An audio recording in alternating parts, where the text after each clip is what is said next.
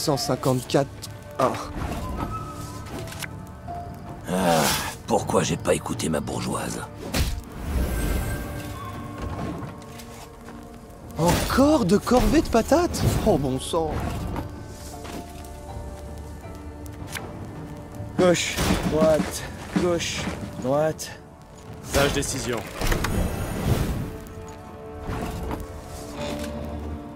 Encore et encore. Je crois que vous allez adorer.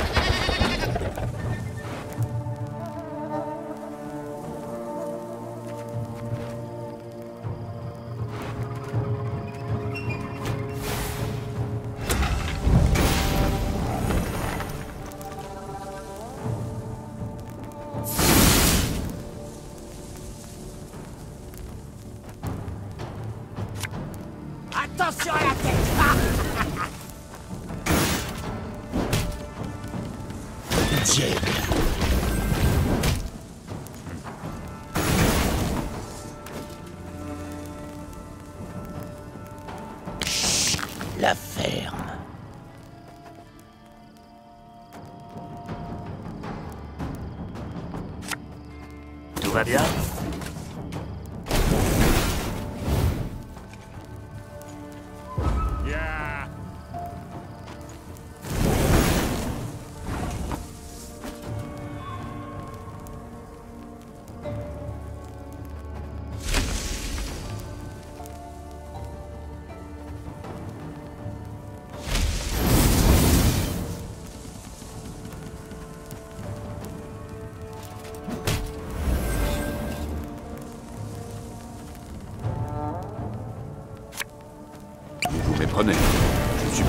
Pas du tout.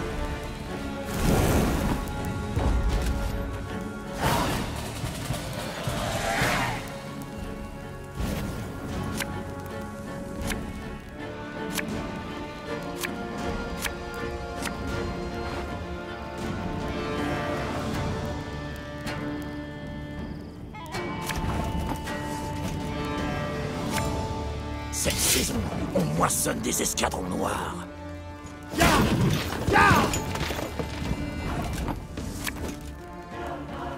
L'armée, c'est une perte de temps pour un comme moi.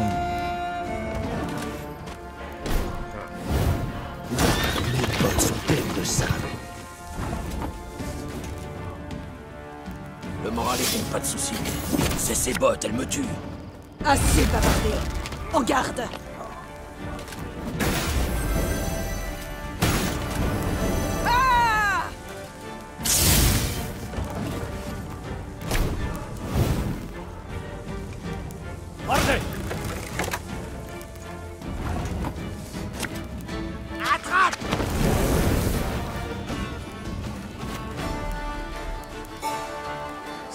Est quelqu'un d'exceptionnel. C'est à quel sujet?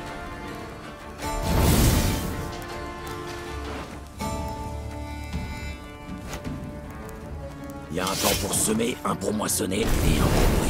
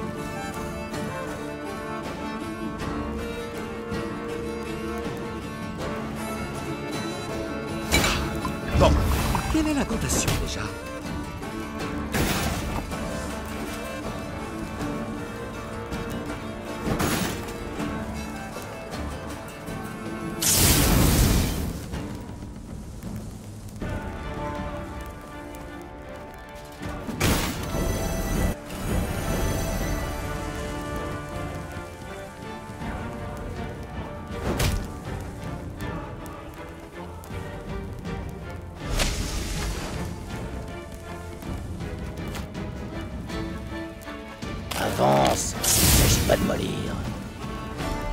Ouais.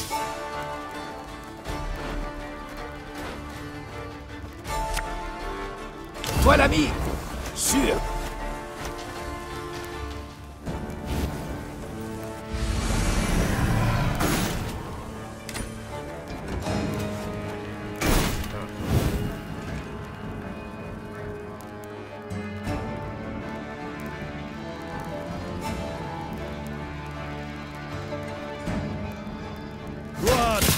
Vous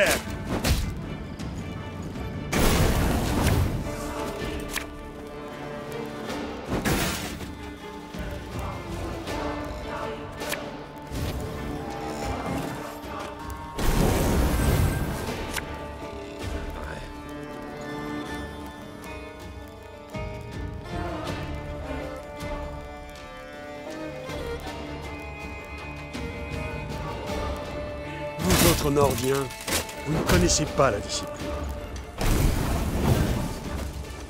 Sa Majesté sait ce qu'elle fait.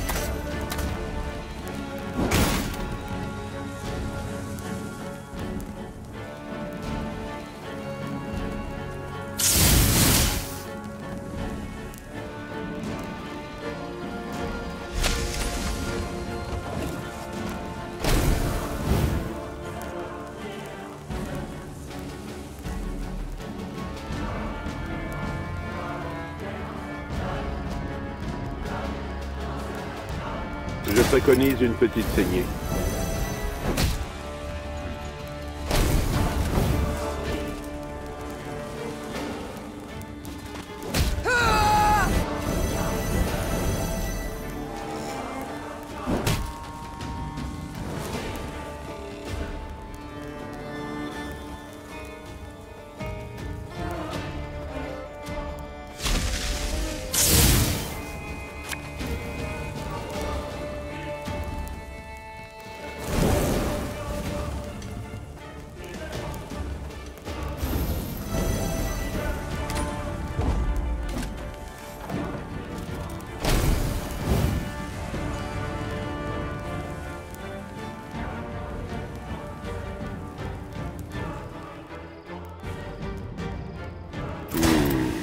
C'est un cas très curieux.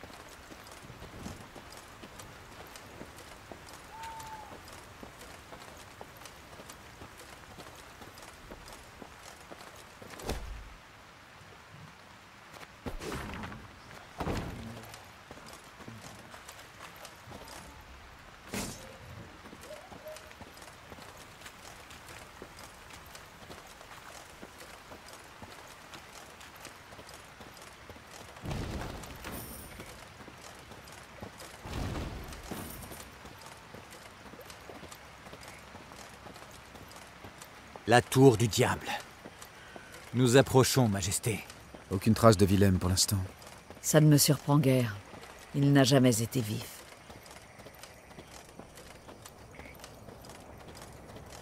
La reine avait choisi de rencontrer Willem à la tour du diable, non sans raison. L'édifice se dressait sur une île, si bien que nul ne pouvait s'en approcher sans d'abord s'exposer en empruntant l'unique pont. De plus, L'île était presque dépourvue de végétation susceptible de dissimuler d'importantes troupes. Une petite unité pouvait éviter de se faire repérer, mais il y avait dans l'ensemble peu de danger. Pas d'escorte, c'était les conditions. Commença Gascon, sur un ton malicieux?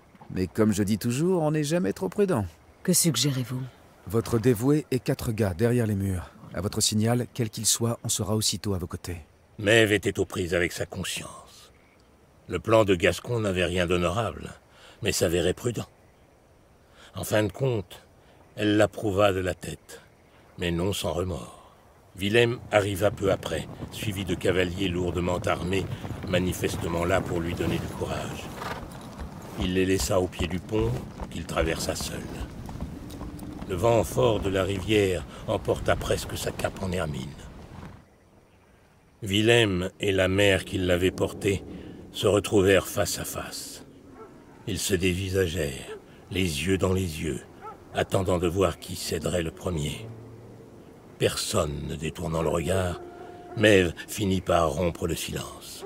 Le temps file et j'ai un royaume à libérer. Inutile de faire traîner les choses.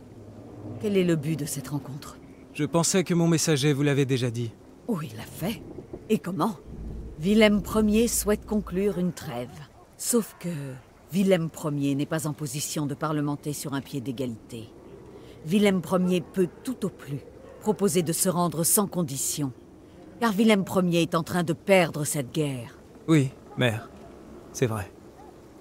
Et je vois que je vous ai au moins contenté par ma défaite.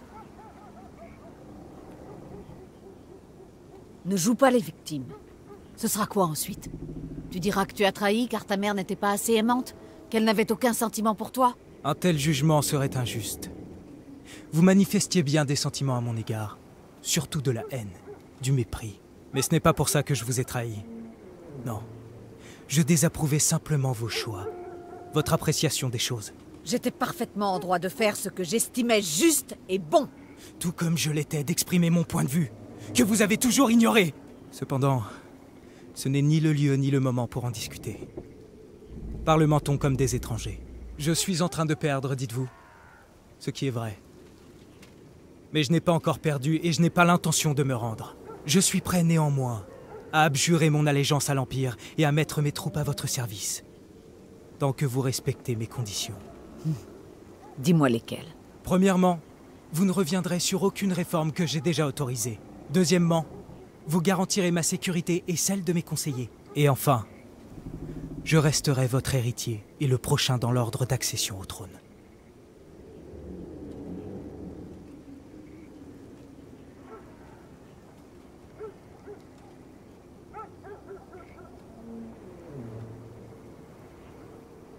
Ces conditions sont inacceptables. Bien. Je me devais d'essayer, mère. Cependant, je ne peux nier ton courage. Venir ici, me regarder dans les yeux, ça n'a pas dû être facile. Non, en effet. J'espère que le moment venu, tu sauras faire preuve du même courage sur le champ de bataille. Je chercherai votre bannière. Les dieux pourront alors trancher définitivement notre différend. Au revoir, mère. Willem s'inclina, fit demi-tour et s'en alla. Maeve bouillonnait toujours de rage, tandis que son cœur saignait de chagrin. Peu après, l'armée de Maeve se mit en route vers le château de Rive. La bataille décisive serait pour bientôt.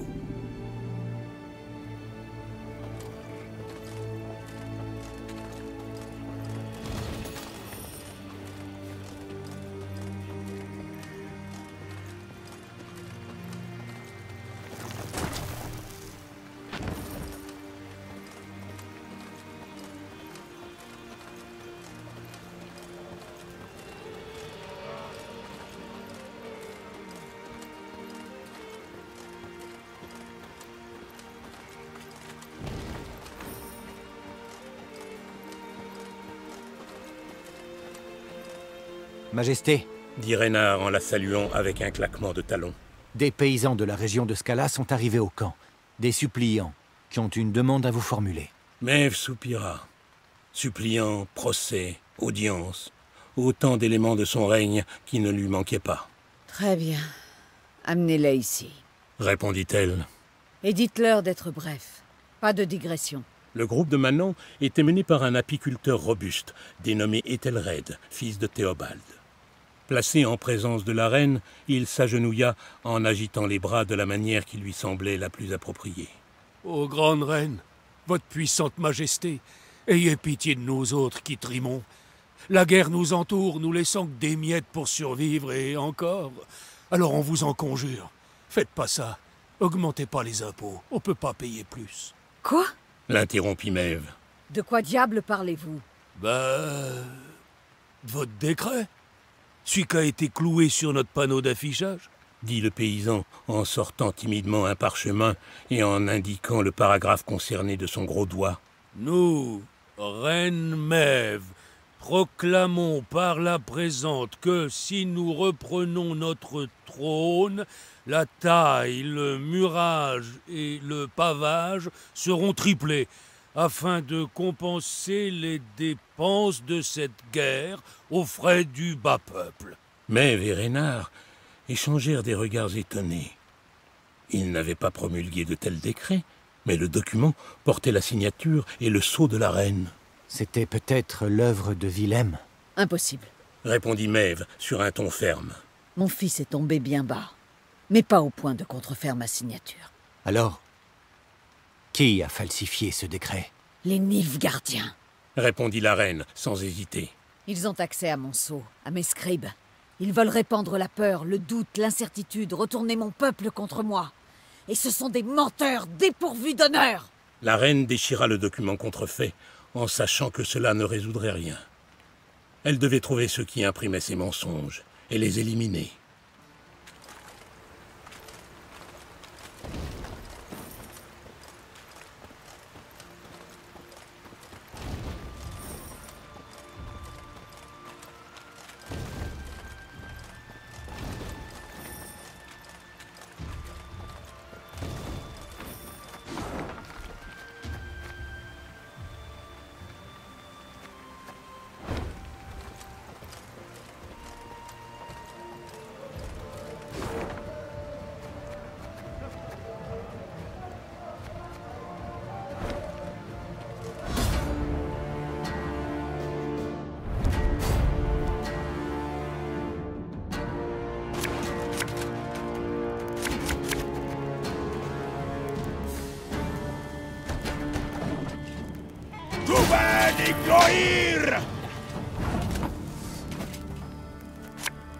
Gauche, droite, gauche, droite.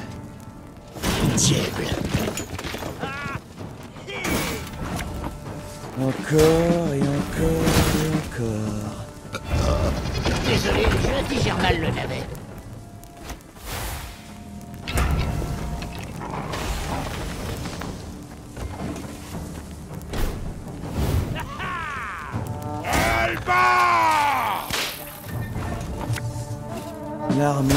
Perte de temps pour un type comme moi.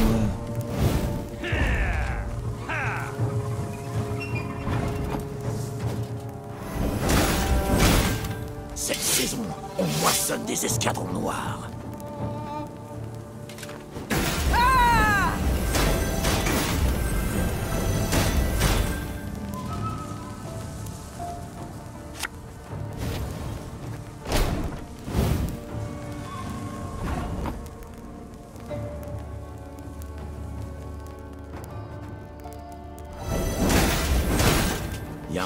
Semer, un pour moissonner et un pour...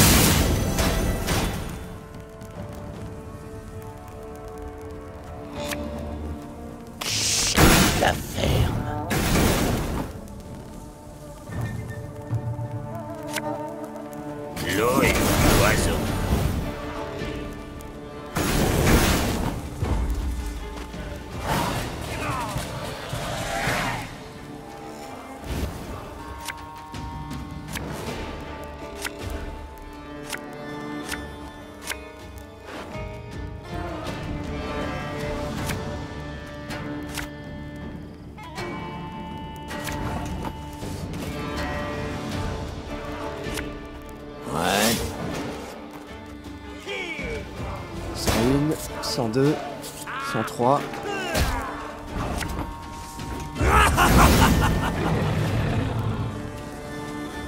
ta vie m'appartient. Vous ne mourrez jamais vivante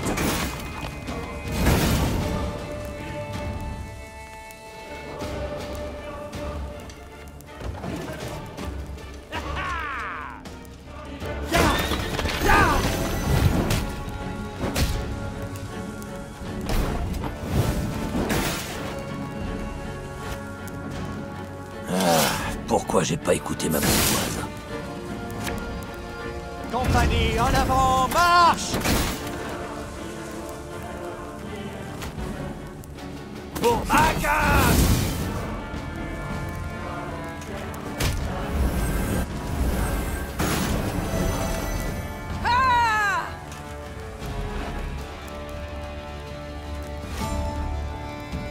Avance S'agit pas de mollir.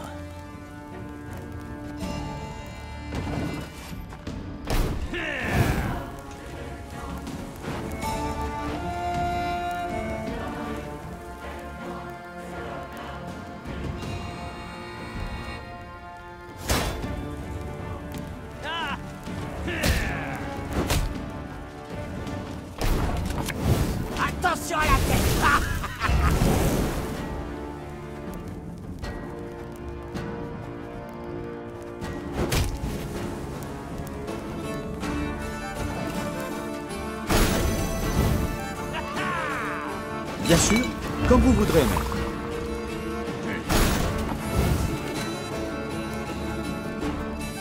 Je crois que vous allez adorer.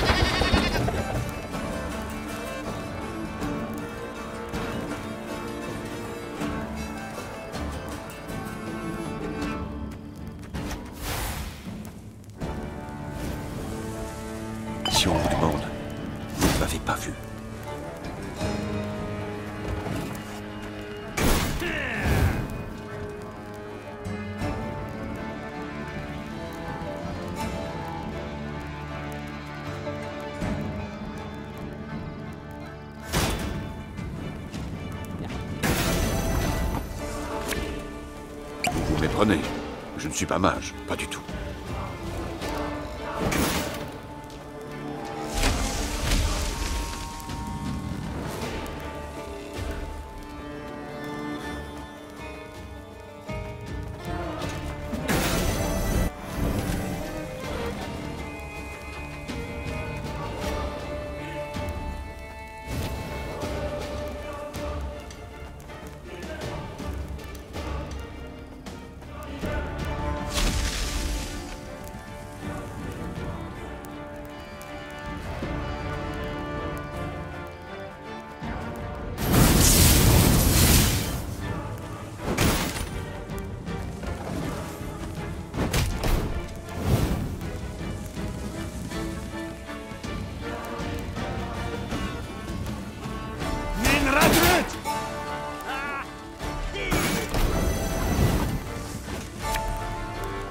L'ami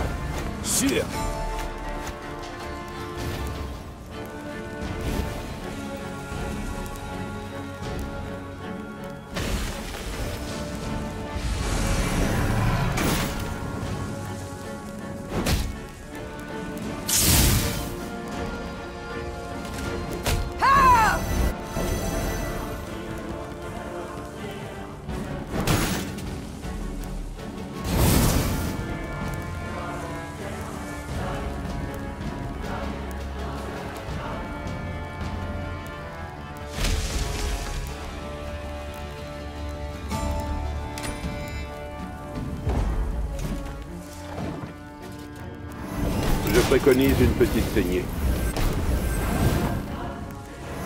Vous autres Nordiens, vous ne connaissez pas la discipline.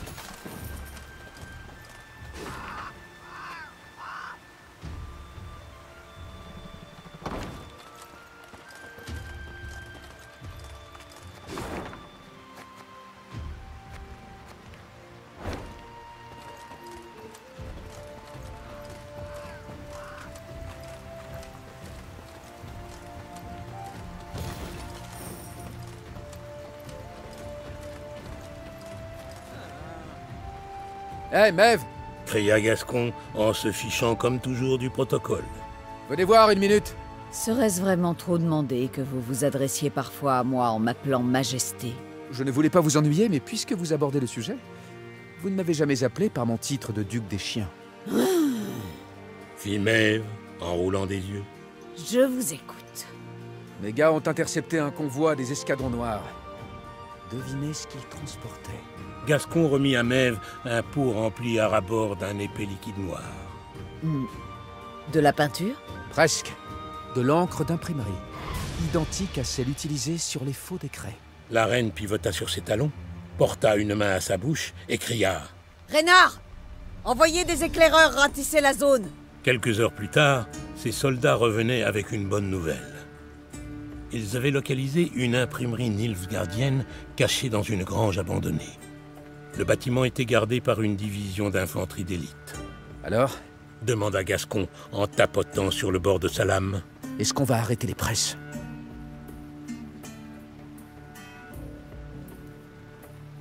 Il est temps que les Nilfgaardiens publient un démenti, dit la reine en tirant son épée.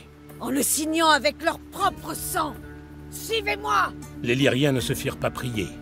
L'honneur de leur reine, sa réputation, c'était là une cause qui méritait d'être défendue.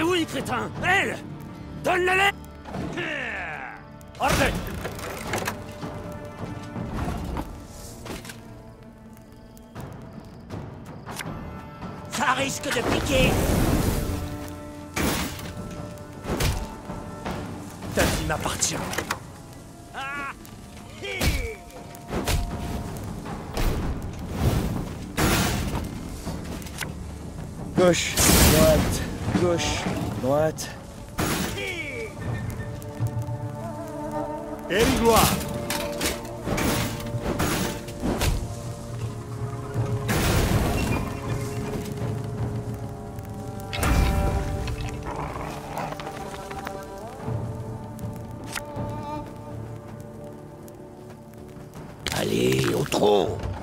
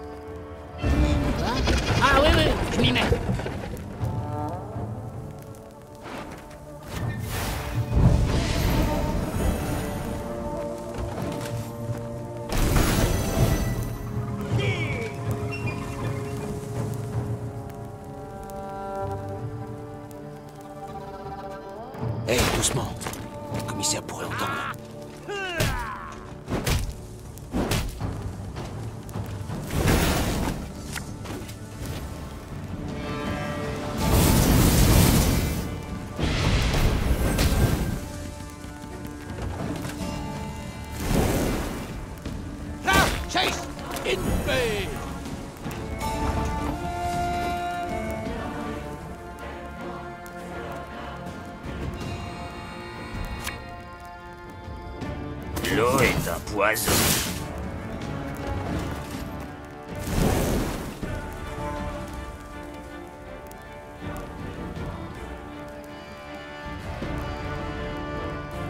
Et c'est reparti pour le front.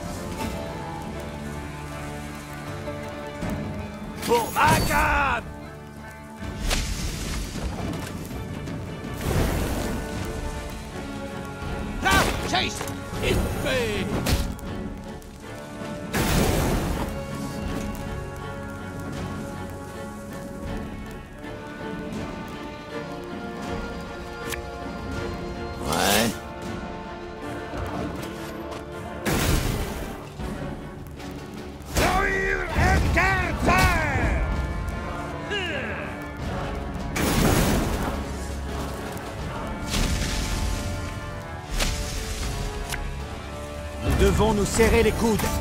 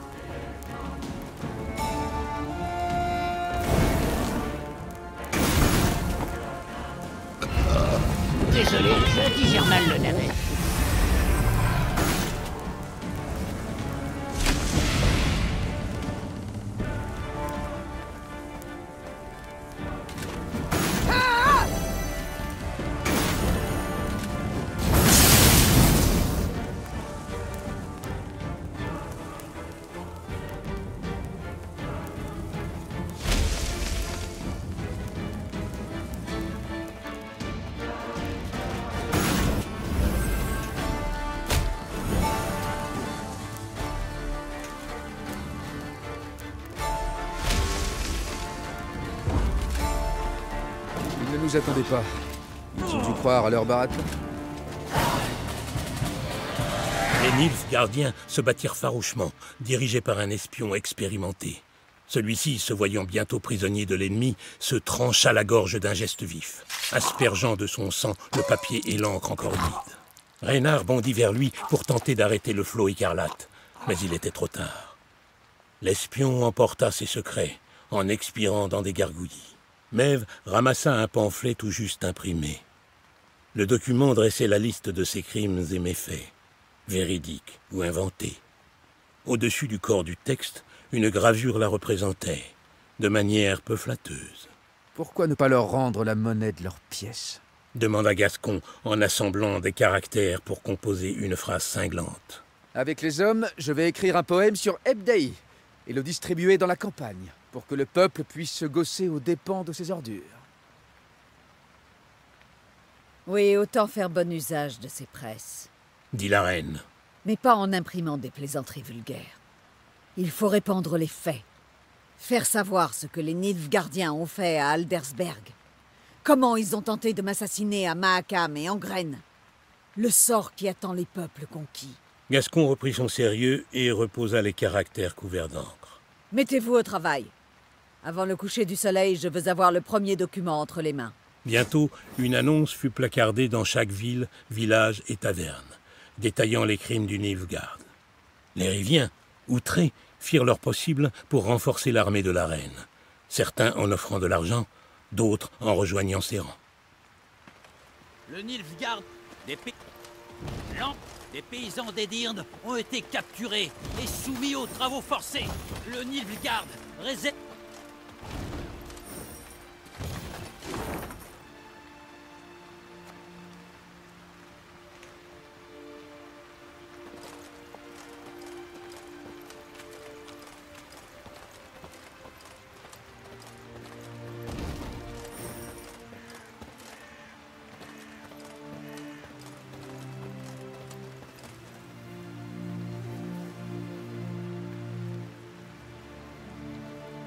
En longeant le mur couvert de lierre d'un cimetière, les lyriens entendirent des gens pleurer pitoyablement, tandis qu'une prêtresse entonnait un chant émouvant. Les soldats baissèrent la tête, consciencieusement. Ils se mirent à penser à leurs parents et camarades morts, et se demandèrent qui d'autre la guerre emporterait. Excusez-moi. Dit Gascon, en tirant Mève de sa propre méditation. Je crois que je vais faire un détour. Pourquoi? Pour présenter vos condoléances? D'une certaine façon, mais vous n'avez qu'à continuer. Je vous rejoindrai vite.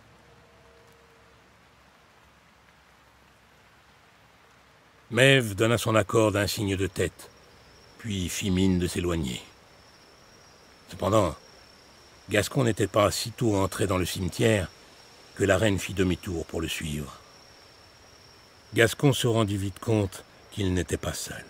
Ah, mais... Si j'avais voulu comploter pour vous nuire, je n'aurais pas annoncé que je m'éclipsais pour le faire. Que voulez-vous dire? Maeve, ne faites pas l'imbécile. Vous ne me faites pas confiance. C'est pour ça que vous m'avez suivi. Vous deviez vous dire que j'allais retrouver Ebdaï dans une crypte. Ou encore mieux, le conclave. Eh bien, je vous rassure, si j'avais vraiment voulu vous cacher quelque chose, vous ne m'auriez pas vu partir, croyez-moi. Si j'avais vraiment craint un mauvais coup, j'aurais envoyé mes éclaireurs. Je ne vous aurais pas suivi seul. Alors je vous le demande, pourquoi m'avoir suivi? Que faites-vous là? Pourquoi êtes-vous venu? Parce que vous n'êtes plus vous-même. Vous avez un comportement étrange. Et cela vous donne le droit de m'espionner? Gascon, je me suis habitué à ce que vous enfreigniez les règles de la bienséance. Mais vous dépassez les bornes cette fois. Vous allez me faire fouetter? Tenez votre langue, ou c'est bien ce qui pourrait arriver. Parfait. Maintenant, dites-moi ce que vous venez faire ici.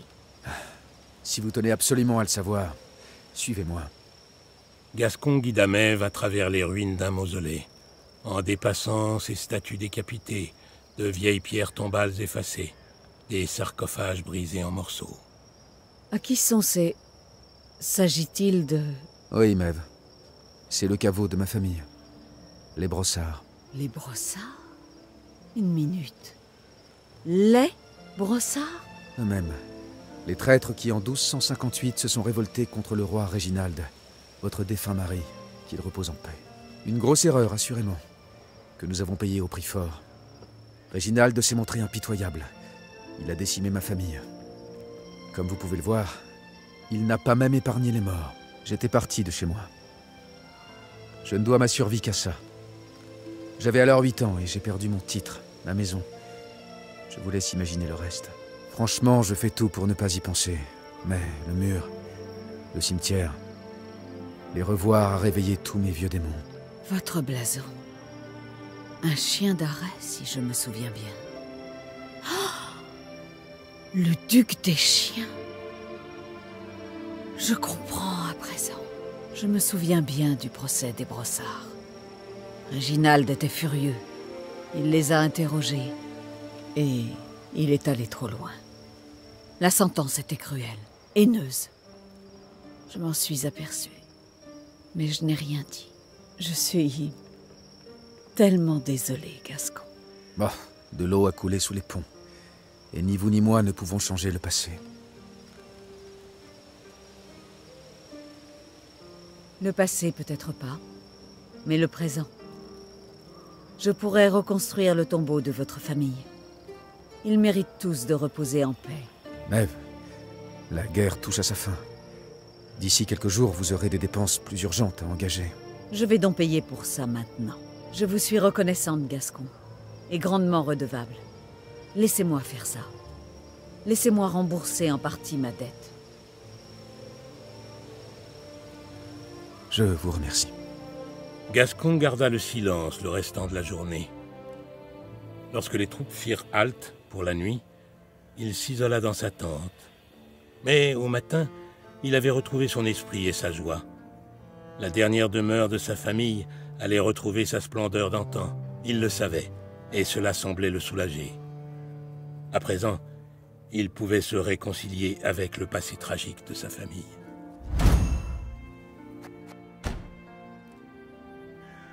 Mère toute... Oh, pour... Dépla... Déplacer le...